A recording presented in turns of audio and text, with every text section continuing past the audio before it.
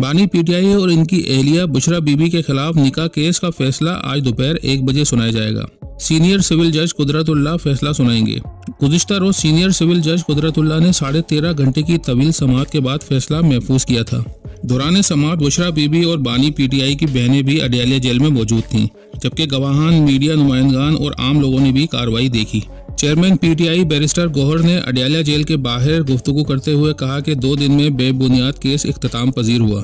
Trial बराए नाम है, लग यूँ रहा है कि फैसले पहले से लिखे जा चुके हैं और सजाओं की हैट्रिक आज मुकम्मल हो जाएगी।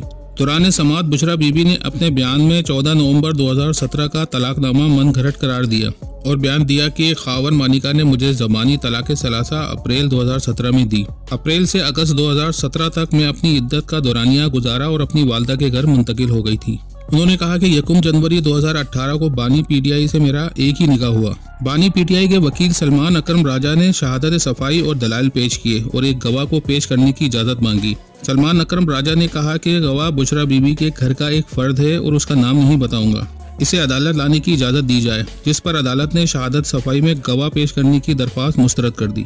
अदालत ने दलाइल मुकम्मल होने के बाद फैसला महफूज किया, जो आज दोपहर एक बजे अडयाला जेल में सुनाया जाएगा। अडयाला जेल के बाहर मीडिया से गुफ्तु करते हुए पीटीआई के चेयरमैन बैरिस्टर गोहर ने कहा कि हमें दस्तावेजात और गवाहों को पेश नहीं करने दिया गया। बेबुनियाद और बानी पीटीआई को बदनाम करने वाला केस दो दिन में इख्ताम पजीर हुआ। उन्होंने मजीद कहा कि ट्रायल बराए नाम है, यूँ लग रहा है, फैसले पहले से लिखे जा चुके हैं और सजाओं की हैट्रिक आज मुकम्मल हो जाएगी। चेयरमैन पीटीआई बैरिस्टर गोहर ने अडयाला जेल के बाहर गुफ्तु करते हुए कहा कि पहली दफ़ा ट्रायल में हक का दिफा का हक नहीं दिया जा रहा। इस मौके पर बानी पीटीआई इमरान खान का पैगाम भी पढ़ के सुनाया गया। बैरिस्टर गौहर ने कहा कि खान साहब ने कौम को कहा है कि इलेक्शन वाले दिन 8 फरवरी को अपनी जिम्मेदारियाँ निभाओ। 8 तारीख को आपकी आज़ादी की जंग का दिन है। इसमें पार्टिसिपेट करो। उन्होंने कहा कि वोटर्स और सपोर्टर बड़ी तादाद में घरों से निकले और अपनी आज़ादी के वोट का हक इस्तेमाल करें। और पोलिंग एजेंट जब तक फॉर्म 45 ना मिले, अपनी जगहों पर रहे। ये बानी पीटीआई की जानब से पैगाम था। ऐसा कहना था चेयरमैन पीटीआई बैरिस्टर गोहर का।